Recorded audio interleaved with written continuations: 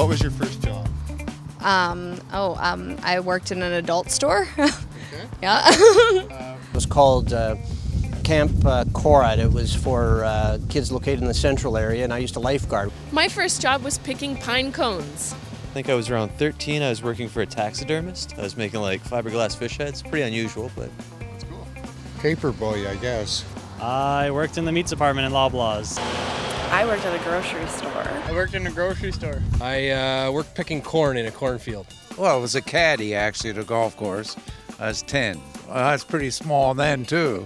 So the guy carried the clubs for me most of the time. So he felt sorry for me, I think. What was your first job? Commercial fisherman. Sandy's Drive-In. I worked at Sandy's Drive-In here in the Soo. I worked as a waitress in a metropolitan store. Uh, I was a bike mechanic. What was your first job? I don't have one yet. Probably babysitting. Babysitting. Probably babysitting. Well, obviously babysitting. McDonald's. My first job was at Sault Community Career Center.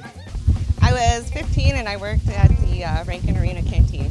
My first job was delivering newspapers. Let us know what yours was in the comments below. For SooToday, I'm Derek Turner.